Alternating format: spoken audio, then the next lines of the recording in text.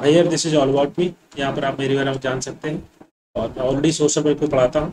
जो लोग वीडियो को पहली बार देख रहे हैं, वो यहाँ से देख सकते हैं। और this is the mobile number कोई भी आपको क्वेरी है कोई डाउट है regarding social work UGC NET subject उस पर आप कॉल कर सकते हैं। इसी मेल मेल कर सकते हैं।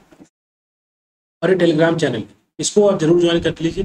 यहाँ पर सभी नोटिफिकेशन वीडियो लिंक नोट्स वाट जो मैं प्रोवाइड कराता हूँ, वो इस टेलीग्राम चैनल के अंदर मैं शेयर कर देता हूँ। आप इस बार कोड को स्कैन कर लीजिए और आप इसको टेलीग्राम चैनल को ज्वाइन कर सकते okay and before this is the course these are the courses जो लोग अगर आप ज्वाइन करना चाहते हैं कोर्सेस को, आप ज्वाइन कर सकते हैं। थर्टीन का सी बी और anybody what is the function of community council in community organization? Community council का क्या क्या वर्क होता है?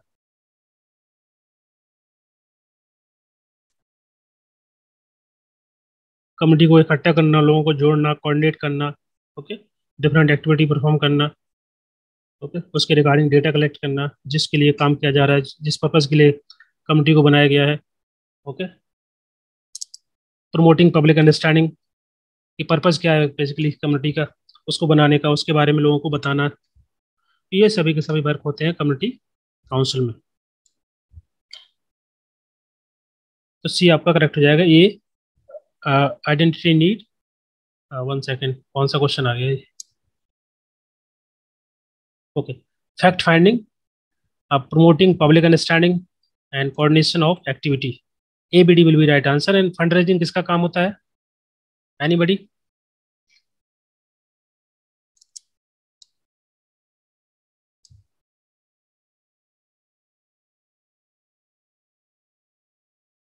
सर कम्युनिटी चेस्ट के बारे में कम्युनिटी चेस्ट का मतलब होता है कम्युनिटी ट्रस्ट जैसे कि मान लीजिए कोई एनजीओ है, उसके अंदर एक ट्रस्ट जैसे कि कोई फाउंडेशन जो होती है, उसको हम कम्युनिटी चेस्ट बोलते हैं। ये टर्म जो है वेस्टर्न टर्म है कम्युनिटी चेस्ट उसको हम बोल सकते हैं सिंपल भाषा में कम्युनिटी फाउंडेशन जो ट्रस्ट होता है, उसका काम होता है फंड इकट्ठा करना। ओके कम्युनिटी से कम्युनिटी से इकट्ठा करना या और किसी संस्था से, कोई गवर्नमेंट एजेंसी से इकट्ठा करना। ओके चैरिटेबल पर्पज़ के लिए। उसका जो पर्पज होता है कि चैरिटी के लिए काम करेगा तो उसको हम कम्युनिटी चेस्ट बोल सकते हैं कम्युनिटी ट्रस्ट बोल सकते हैं, या कोई कम्युनिटी फाउंडेशन बोल सकते हैं इसका पर्पज होता है पैसे को फंड को पुल आउट करना, पैसे इकट्ठे करना। ओके तो ये fund raising is work of community chest within the community organization okay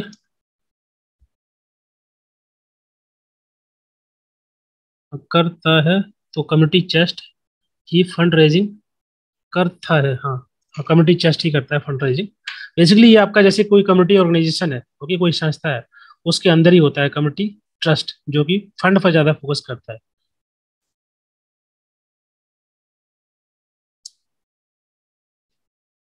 Okay.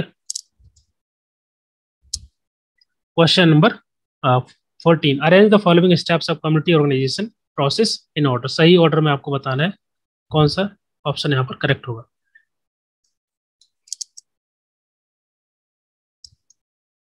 सबसे पहले क्या आता है कि जो नीड्स है, जो प्रॉब्लम है, जो चैलेंज है, उसको हम आइडेंटिफाई करते हैं प्रोटाइज करते हैं। उसके बारे में जो है डेवलपिंग प्रोसेस कैसे उसको रिजॉल्व करना है, नीड है तो कैसे फुलफिल करेंगे, चैलेंज है तो कैसे उसको सॉल्व करेंगे, राइट? फिर उसके बारे में रिसोर्सेज को कलेक्ट करना, इकट्ठा करना, एक्सप्लोर करना, और जो भी रिसोर्सेज इकट्ठे होते हैं, उनको हम यूटिलाइज करते हैं नीड को पूरा करने के लिए या जो प्रॉब्लम है उसको सॉल्व करने के लिए। ओके कौन सा करेक्ट हो जाएगा?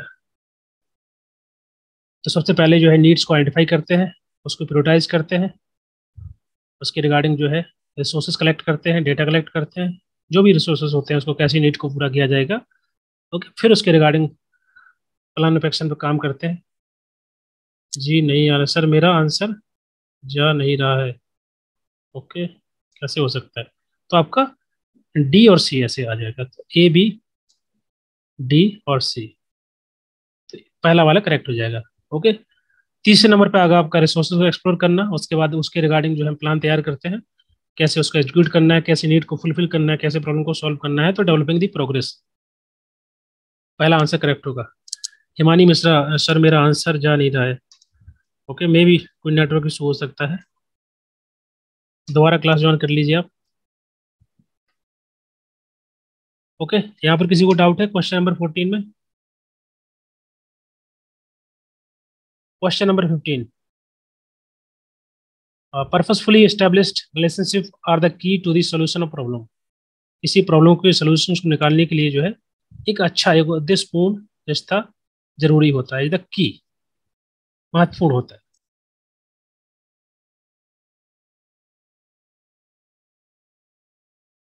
और दूसरा दिया है reason statement of relationship is the essential part of rapport building leading to solution of the problem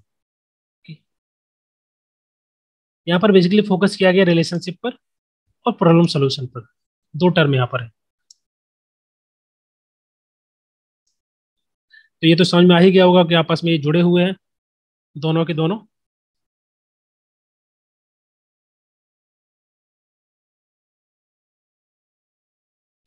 हाँ सभी का आंसर करेक्ट है। दोनों सही है और R is the right explanation of A okay यहाँ पर बात कर रहे हैं हम। एक रैपोर्ट बिल्डिंग की बात की जा रही है कि अगर किसी प्रॉब्लम को सोल्यूशन निकालना है तो उसके पहले जो है इसेंशियल जो पार्ट होता है रिश्ता बनाने का, वो रैपोर्ट बिल्डिंग होती है। लोगों से जानते हैं, उनको समझते हैं इंट्रक्ट करते हैं।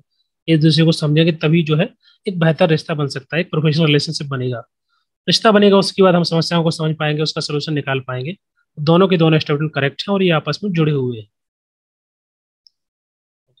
तो जब भी आप दोनों को पढ़ें स्टेटमेंट को जब भी एग्ज़ाम में तो पहले ये देखिए कि उनमें वाइंड जो वाइंडिंग वर्ड क्या है या टर्म कौन सी है जो कि दोनों को जोड़ रहा है। ओके यहाँ पर बात की जा रही है सोल्यूशन ऑफ़ द प्रॉब्लम उसके लिए क्या चाहिए? एक बेहतर रिश्ता। रिश्ता कैसे बनेगा? थ्रू दी रिपोर्ट बिल्डिंग आपका पहला करेक्ट हो जाएगा।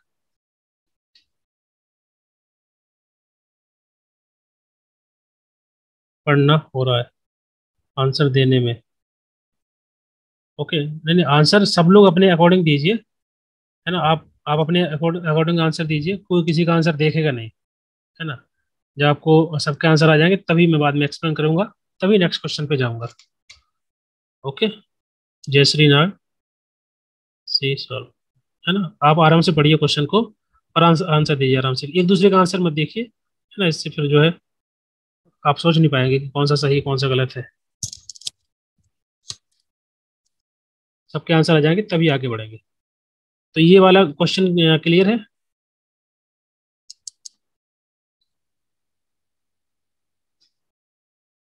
Okay question number sixteen the concept of Gemeinschaft and Gesellschaft आज एट्रीब्यूटेड टू किसके द्वारा बेसिकली कंसेप्ट दिए गए?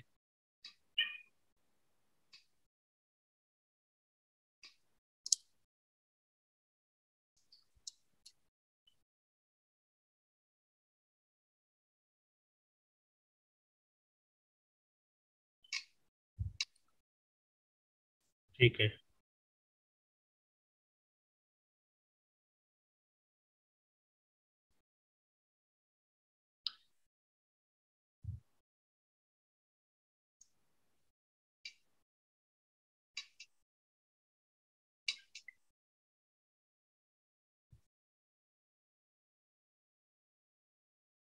ओके सभी के आंसर आ गए? ओके। जेमनी साफ्ट का मतलब क्या होता है? एन जैसल साफ्ट का मतलब क्या होता है? एनीबडी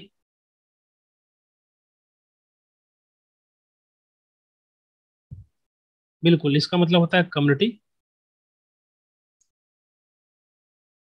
और जैसे साफ्ट का मतलब होता है सोसाइटी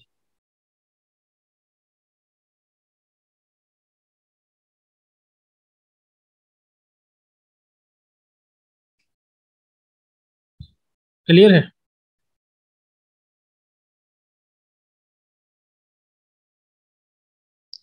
जैसे कम्युनिटी छोटा होता है ना, छोटा हिस्सा जैसे रूरल एरिया है, वहाँ पर सेंटिमेंट्स होते हैं लोगों में, अच्छी बॉन्डिंग होती है ओके रूरल एरिया है पर्सनल रिलेशनशिप होते हैं अच्छे। और अगर हम बात करें सोसाइटी सोसाइटी बड़ी होती है, जैसे कि मान लीजिए कोई सिटी है, शहर है कॉस्मोपोलिटन सिटी है, जहाँ पर जो इससे इतने क्लोज नहीं होते आपस में ओके रेशनल रिलेशनशिप होते हैं इमोशनल रिलेशनशिप नहीं होते हैं। ठीक है? उसको हम बोलते हैं सोसाइटी ये आपका कैसे सेफ्ट हो जाएगा। याद करने का तरीका सिंपल है कि जेमनी साफ्ट में एम है और कमिटी में एम है। और इसमें एम नहीं है तो यहाँ पर एस है तो यहाँ पर दोनों में एस है। ऐसे याद कर लीजिएगा। ओके ये दिया गया टॉनिस के द्वारा। बी आंसर करेक्ट हो जाएगा। Question number seventeen the basis of Durkheim theory of deviance is deviance की जो थ्योरी दी गई थी दुर्खाइम के द्वारा थ्योरी ऑफ़ डेवियंस उसके लिए जो मेन बेसिस क्या है? तथ्य जो है रिचुअलिज्म कन्फर्मिटी अनोमी और रिट्रेटिज्म क्या आंसर होगा? ओके क्या थ्योरी है? अनिल कुमार साहू ओके आपका आंसर आ गया है डायरेक्ट ठीक है. Anybody what is the theory of Durkheim theory of deviance इसका मतलब क्या होता है?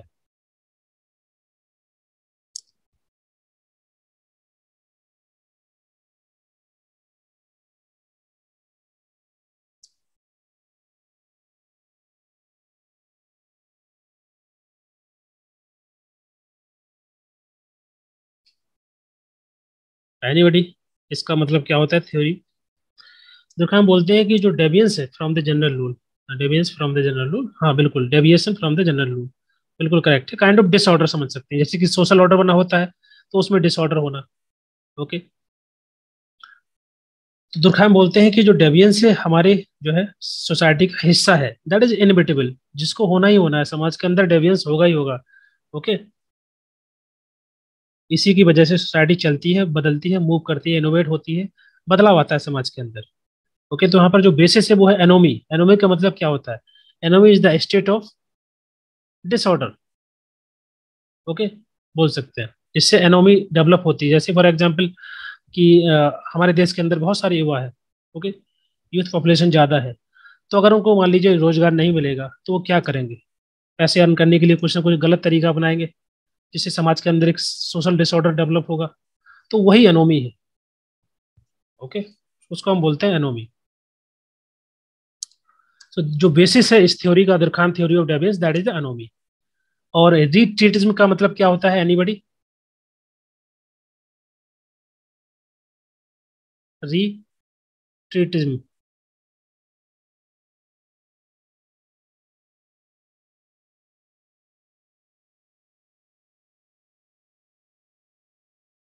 पता नहीं।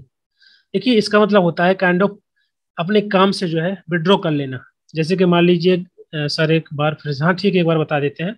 रीटेडिज्म का मतलब बताते हैं पहले कि जैसे मान लीजिए, घर के अंदर लोग रहते हैं तो फॉर एग्ज़ाम्पल कोई पर्सन है, वो अपना घर छोड़ दे ओके क्योंकि वो घर की जो ज़िम्मेदारी है उसको पूरा नहीं कर पा रहा है ओके उसको बोलते हैं रीटेडिज्म मतलब होता है सिंपल विड्रॉ कर लेना अपने आप को सोसाइटी से सोसाइटी के रूल्स रेगुलेशन से सोसाइटी के वर्क से सोसाइटी के जो गोल होते हैं उसको फुलफिल नहीं कर पाना ओके उसको हम बोलते हैं retreatism that is the sociology का हिस्सा है ओके जब हम अपने आप को विड्रॉ कर लेते हैं किसी काम से, किसी रिस्पॉन्सिबिलिटी से, किसी गोल से सोसाइटी हो चाहे फैमिली हो चाहे कोई वर्क हो, उसको बोलते हैं हम रिटेटिज्म ओके और जो दुर्खाम की थ्योरी है डेवियंस की, ये बोलते हैं, दुर्खाम बोलते हैं कि जो है, ये जो डेवियंस है ओके जो डिसऑर्डर होता है समाज के अंदर इससे ही समाज के अंदर इनोवेशन होता है, बदलाव होता है चेंजेस होते हैं। So that is the innovative part of society ये होना ही होना है ओके okay? और एग्ज़ाम्पल जगह हम देख सकते हैं कि जैसे कि मान लीजिए सोसाइटी के अंदर बहुत, अभी प्रेजेंट टाइम इंडिया में बिल्कुल जैसे कि जॉब नहीं है, कम जॉब है यूथ ज़्यादा है तो इससे क्या होगा? जॉब नहीं होगी तो लोग अर्निंग कहाँ से करेंगे? लाइवलीहुड कहाँ से कमाएँगे? कुछ गलत काम करेंगे, कुछ क्रिमिनल एक्टिविटी करेंगे तो समाज के अंदर डिसऑर्डर होगा सोशल डिसऑर्डर ओके जो हारमोनी बनी हुई है, वो डिस्टर्ब होगी। तो इससे एनोमे की कंडीशन डेवलप होती है। एनोमे का मतलब होता है kind of state of social disorder okay तो जो बेसिस है इनकी थ्योरी का डेबियंस का वो है anomie okay crime is functional हाँ। किसके द्वारा बोला गया था? बताइए।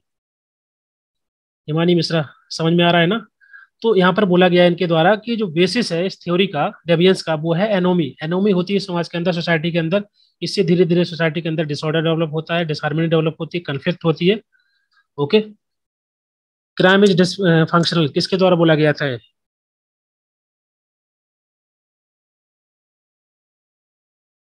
ओके। ठीक है ठीक है। तो ये आपका हो गया रिटेटिज्म एनोमी और कन्फर्मिटी का मतलब वही होता है, अनुरूपता कंसिस्टेंस एक ही चीज़ होना। कर्मकांड तो होगा ही नहीं। तो सी आंसर आपका करेक्ट हो जाएगा। यहाँ तक क्लियर है? क्वेश्चन में किसी को डाउट है? सेवनटीन में?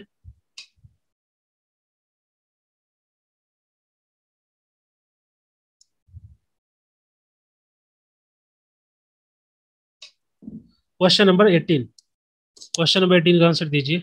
Which of the following skills are essential in resource mobilization resource mobilize करने के लिए कौन कौन सी स्किल्स होना ज़रूरी होती है? जैसे कि मान लीजिए आप एक कोऑर्डिनेटर है, एक ग्रुप के। ओके, लीडर है। तो आपको रिसोर्स मोबिलाइज कराना है तो कौन कौन सी स्किल्स होनी चाहिए?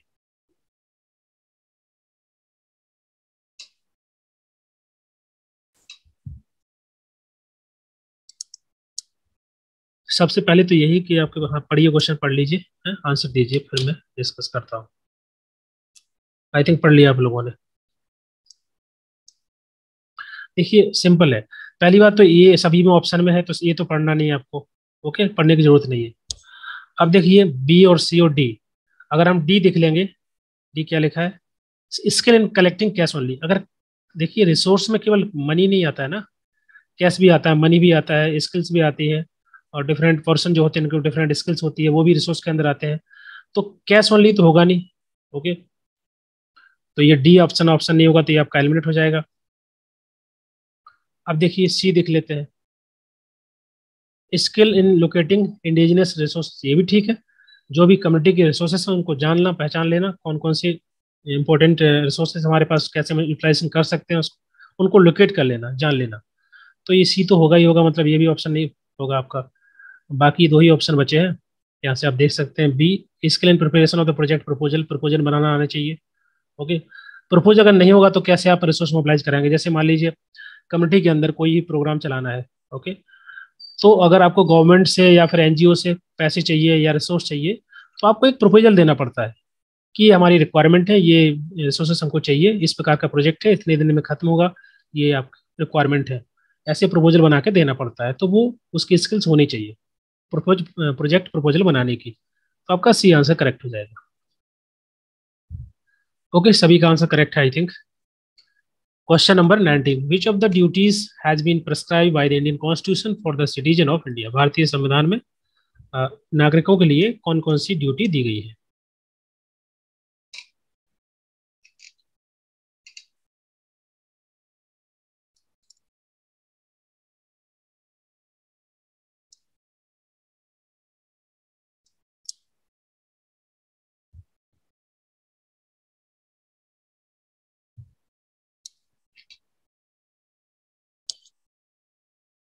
यहाँ पर भी ए वाला सभी सभी में कॉमन है तो इसको पढ़ने की ज़रूरत है नहीं।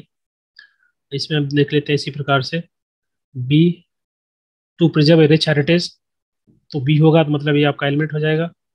Okay C minimizing income inequality ये सिटीजन की ज़िम्मेदारी नहीं है, ये आपका डीपीएसपी के अंदर आता है। ये स्टेट की रिस्पॉन्सिबिलिटी होती है कि जो है इनकम इनक्वालिटी को कम करना। जो गरीबी और अमीरी की खाई है, उसको कम करना। डीपीएसपी में दिया गया है कि सरकार को स्टेट को state shall ensure okay? The income inequalities को कम करना, मिनिमाइज द इनक्वालिटी सो ये आपका नहीं होगा।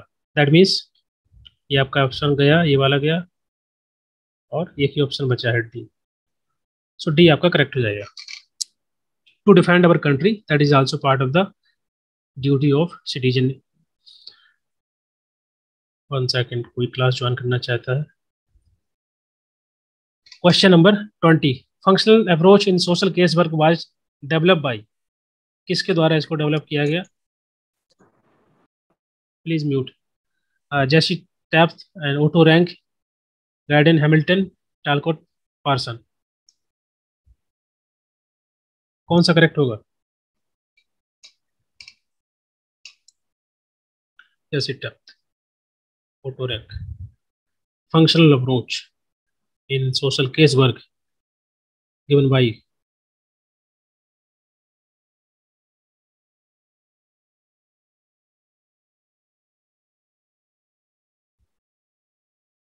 anybody और भी आंसर आने चाहिए, कि दो ही आंसर आए हैं। फ़ोटो रैंक के द्वारा दी गई और। फ़ोटो रैंक के द्वारा, ओके। देखो, यहाँ पर थोड़ा कंफ्यूजन है स्टूडेंट को ना। ये जो थ्योरी है ना functional approach in case work social case work ये जो डेवलप की गई है जैसी थेप्ट के द्वारा और उनके साथी और थे, लेकिन आधारित है ऑटो रैंक की थ्योरी पे। ऑटो रैंक की जो थ्योरी थी बिल थ्योरी ओके, कि हम जो भी काम करते हैं उसकी जो जो पावर होती है ना पावर ऑफ़ आवर माइंड कि हमको क्या काम करना है, क्या डिसाइड करना है, उसको हम बिल बोलते हैं। Strong determination about something okay उसको हम बोलते हैं बिल जो बिल बिल थ्योरी थी, ये थी आपकी ऑटो रैंक की। उसी पर आधारित ये इनके द्वारा थ्योरी दी गई थी, जैसी थेफ्ट के द्वारा functional approach of social case work okay तो एग्ज़ाम में अगर आए ना तो ये आपको जैसी थेफ्ट आंसर करना है, यही आंसर दिया हुआ है। और अगर बिल आता है बिल थ्योरी किसके द्वारा दी गई तो आपकी ऑटो रैंक के द्वारा होगी। सर, मुझे कंफ्यूजन है इसमें, इस, किसी पे से ऐसे कोई ऑटो रैंक भी है। हाँ कहीं पर ऑटो रैंक मैंने देखा है, लेकिन मैंने बाद में उसको पढ़ा। इग्नू के नोट्स में मेंशन किया गया है प्रॉपर तरीके से।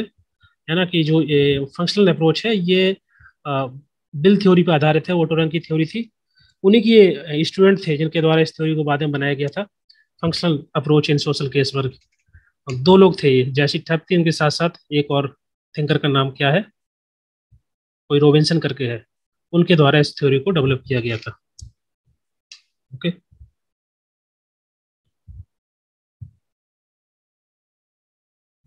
तो इसको आप याद कर लीजिए।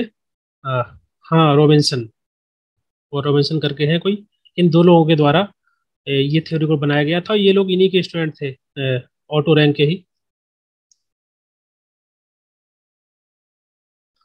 तो आपका ये वाला करेक्ट हो जाएगा। कहीं कहीं पर आंसर बिल ऑटो रैंक दिया गया ऑटो रैंक दिया गया है, लेकिन वो आई थिंक उतना करेक्ट नहीं है। इसको मैंने अच्छे से समझा है, पढ़ा है। आपका ये वाला करेक्ट होगा। कौन सा करना? ये वाला करना जेसी थेफ्ट है ना? Jessie Taft plus Virginia Robinson करके दो नाम है। दोनों के दोनों के द्वारा इस थ्योरी को डेवलप किया गया। ओके पहला आंसर मार्क करना। वर्जीनिया पी रोबिन्सन हाँ बिल्कुल करेक्ट है। Okay question number twenty one यहाँ पर डाउट तो नहीं किसी को? कोई कंफ्यूजन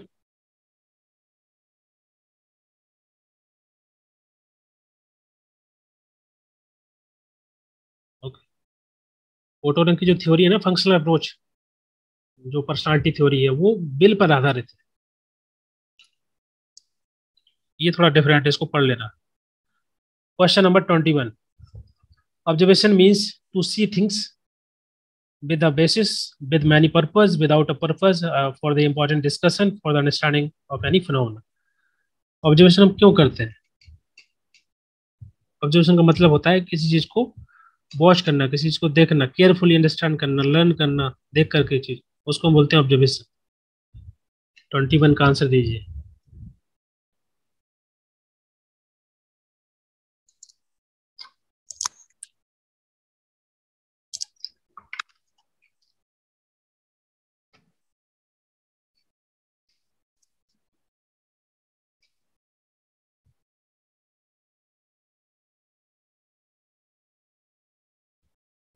सिंपल है।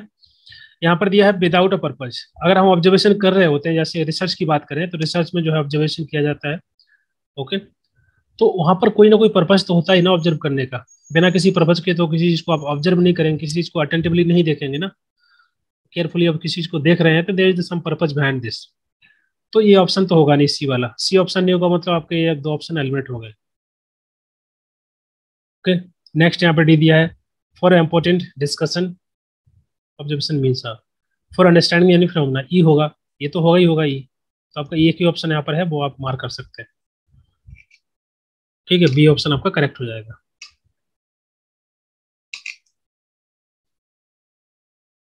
क्लियर है? Question number twenty one question number twenty two का आंसर दीजिए? Which of the following falls within the scope of welfare services vocational education special education higher education और टेक्निकल एजुकेशन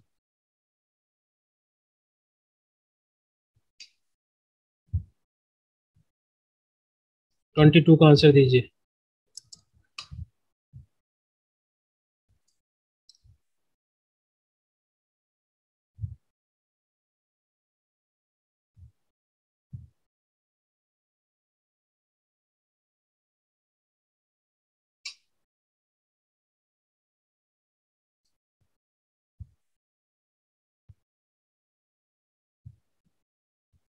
देखिए welfare service का मतलब क्या होता है? ये तो ये गवर्नमेंट के द्वारा दी जाती है गवर्नमेंट के द्वारा स्पॉन्सर असिस्टेंस प्रोग्राम होता है, वो लोगों तक पहुँचाया जाता है। ओके तो वो आपका वेलफेयर एक्टिविटी में आता है वेलफेयर सर्विस में आता है। तो उसमें किसी खास प्रकार की एजुकेशन हम देते हैं। Okay vocational training vocational education तो आप थ्रू दी जो हमारा जो फॉर्मल एजुकेशन सिस्टम है, उसके माध्यम से भी दी जाती है। हायर एजुकेशन तो दे ही दे जाती टेक्निकल एजुकेशन ये तीनों टर्म जो है, इसके अंदर नहीं आएगी। वेलफेयर एक्टिविटी की बात कर रहे हैं तो स्पेशल एजुकेशन दी जाती है। स्पेशल असिस्टेंस दिया जाता है। ओके आपका बी हो जाएगा।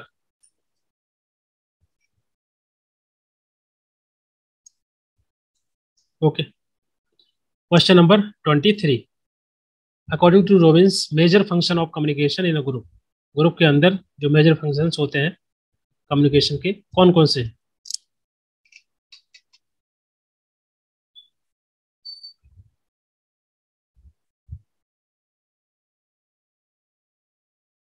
ट्वेंटी थ्री का आंसर दीजिए।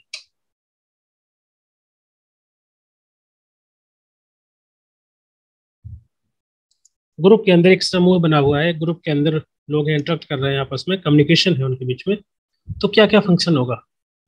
Okay control of course control एक उसका पार्ट होगा।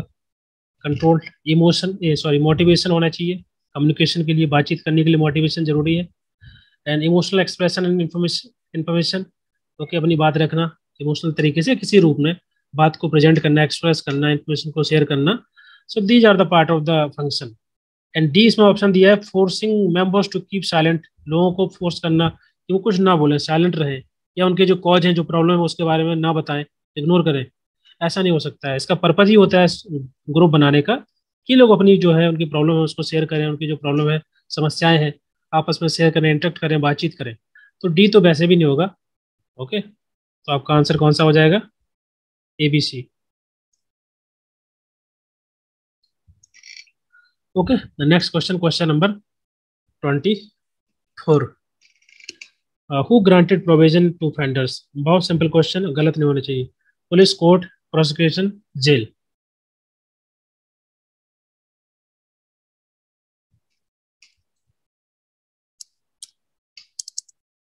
आप लोग टोटल काउंट कर रहे हैं ना? कितने आंसर आपके करेक्ट होने वाले हैं? लास्ट तक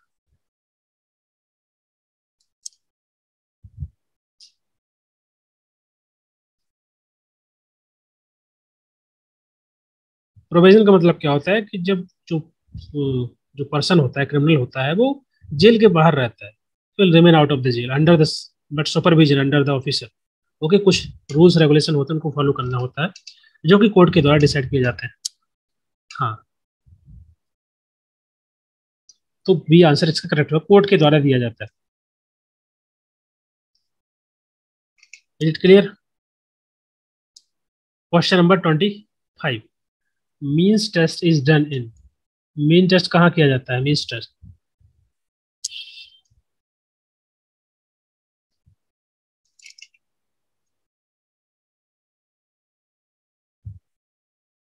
अच्छा पेरोल का मतलब क्या होता है? कोई बताएगा? अच्छा क्वेश्चन नंबर ट्वेंटी फाइव दीजिए आंसर इसका।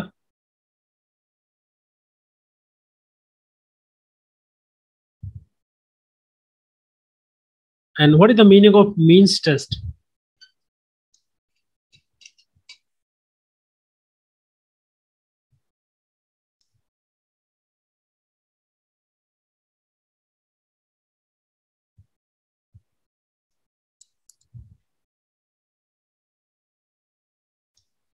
Anybody?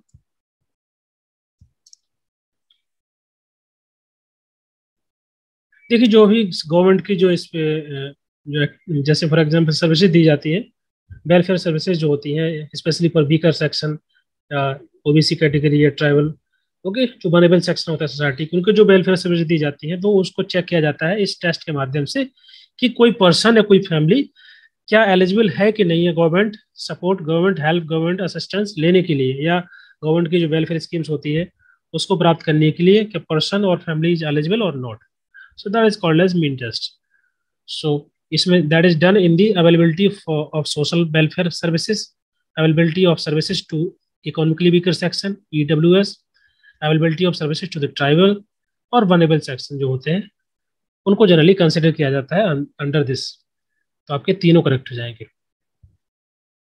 सी आंसर हो जाएगा। मीन्स टेस्ट समझे नहीं। पीरियड फिक्स को बेल पीरियड हाँ ओके देखिए मीन टेस्ट का मतलब होता है, यहाँ पर हम डिटरमाइन करते हैं कि कोई इंडिविजुअल या फैमिली मेंबर जो है फैमिली है, वो एलिजिबल है कि नहीं है गवर्नमेंट असिस्टेंस के लिए? या गवर्नमेंट जो वेलफेयर एक्टिविटी प्रोवाइड की जाती है सपोर्ट दिया जाता है उसके लिए? ओके वो चीज़ को डिटरमाइन करता है मीन्स टेस्ट जैसे कि जो ईडब्ल्यू e कैटेगरी है वीकर सेक्शन है ट्राइबल पीपल है ओके तो उनको सपोर्ट दिया जाता है उनको असिस्टेंट दिया जाता है क्योंकि वो इस, इस कैटेगरी के अंदर आते हैं। ओके उसको हम बोलते हैं मीन्स टेस्ट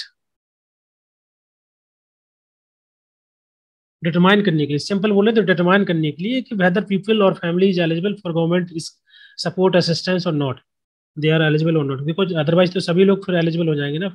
सर्विसेज़ लेने के लिए। Okay question number twenty six what is the time fix parole to temporary और permanent release for their healthy behaviour okay question number twenty six का आंसर दीजिए। एक पेरोल कंडीशनल रिलीज़ होता है from the picture condition उसमें भी होती है। Okay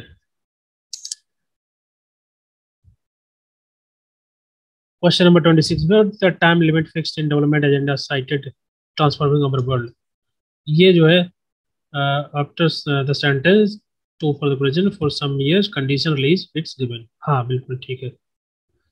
उस समय तक वो रहता है, जेल के अंदर। है ना? उसका व्यवहार, उसका राइट उसको देख करके फिर बाद में उसको कंडीशन रिलीज़ दिया जाता है।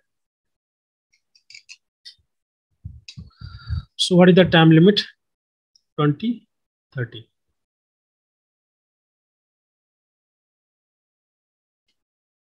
twenty thirty is right answer okay ये आपके सेवनटीन जो गोल है वन सिक्सटी नाइन टारगेट जिसको अडॉप्ट किया गया था ट्वेंटी फिफ्थ सेप्टेम्बर 2015 को ओके यूएन सबमिट में। इसका जो एजेंडा था कि कैसे पॉवर्टी को खत्म करना है रेडिकेट करना है कैसे एसडीजी गोल्स को अचीव करना है बाय 2030 उसका मोटिव है। Okay so these are the agenda of this summit 2030 agenda for sustainable development इसके अंदर आपके 17 सस्टेनेबल गोल्स हो गए 169 टारगेट्स हो गए, और 2015 में इसको जो है डिफरेंट कंट्री के द्वारा इसको अडेप्ट किया गया था in UN summit transforming the world our world बिल्कुल करेक्ट है। तो ये आंसर करेक्ट जाएगा question number twenty seven which of the following community approach was not given by the M G Ross बताइए कौन सा करेक्ट होगा। बहुत सिंपल क्वेश्चन है। ये आंसर गलत नहीं होना चाहिए किसी का भी।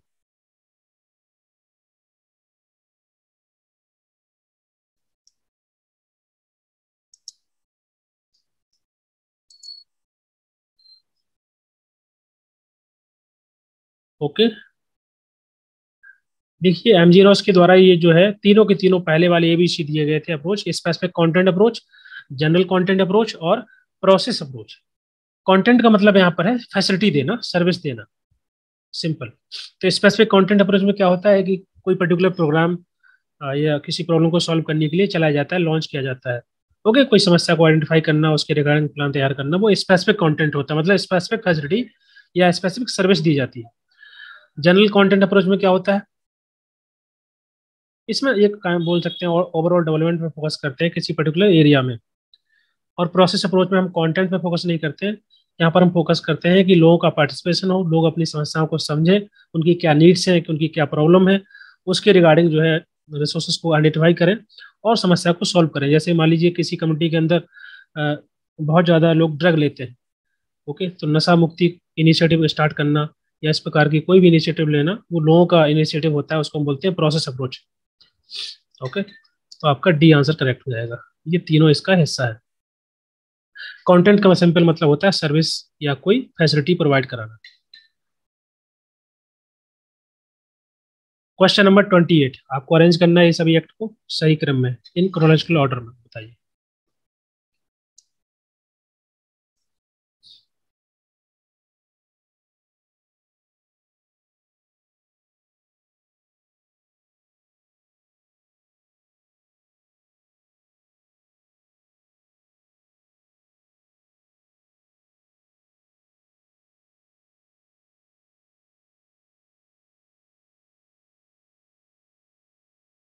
आंसर देना आंसर के साथ साथ क्वेश्चन नंबर भी लिखना है।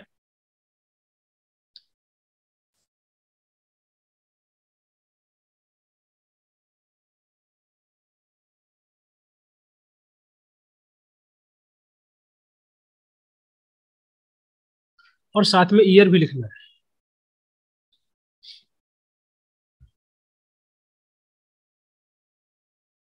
ओके okay, तो पहला बताइए प्लांटेशन ऑफ़ लेबर एक्ट कब आया? 1951 में। उसके बाद फिर माइंस एक्ट 1952 में। और payment of bonus act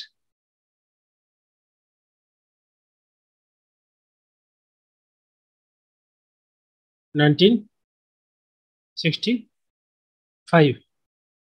और the payment of gratuity act nineteen seventy two में। तो ये सही क्रम में लगे हुए हैं एबीसीडी हो जाएगा। ओके।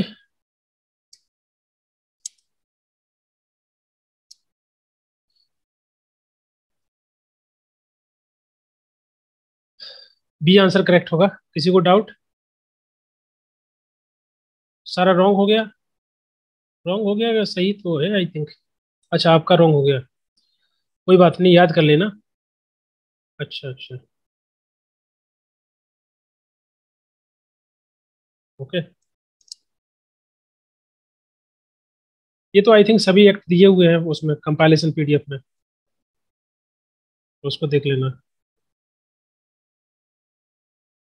याद नहीं होते। याद तो करना होगा, इनको आप कैसे कुछ नमक्स बनाइए ना, जैसे प्लांटेशन है। ओके? यहाँ पर पी है।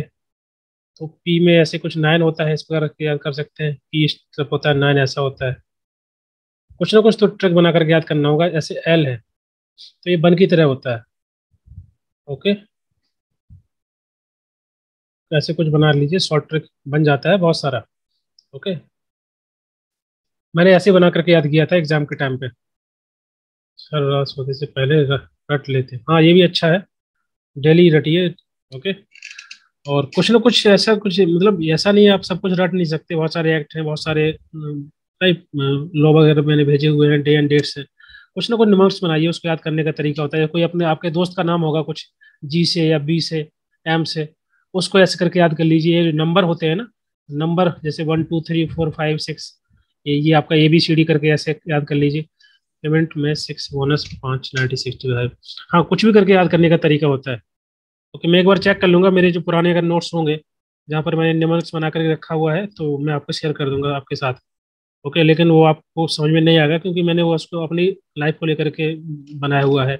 ओके, दोस्तों के नाम या से कुछ करके, इधर उधर करके ऐसे याद किया था मैंने तो ऐसे आप लोग कर सकते हैं।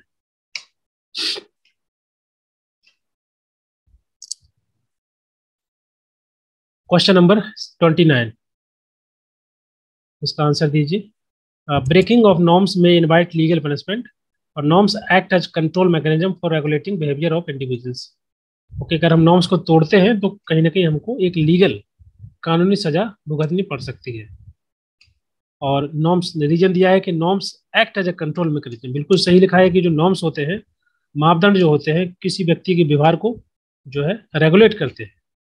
एक कंट्रोल मैकेनिज्म होता है। जैसे हमारे समाज के अंदर बहुत सारे नॉर्म्स होते हैं सोसाइटी के, उनको हमको फॉलो करना पड़ता है। तभी हम कहलाते हैं कि हम सही तरीके से बिहेव कर रहे हैं।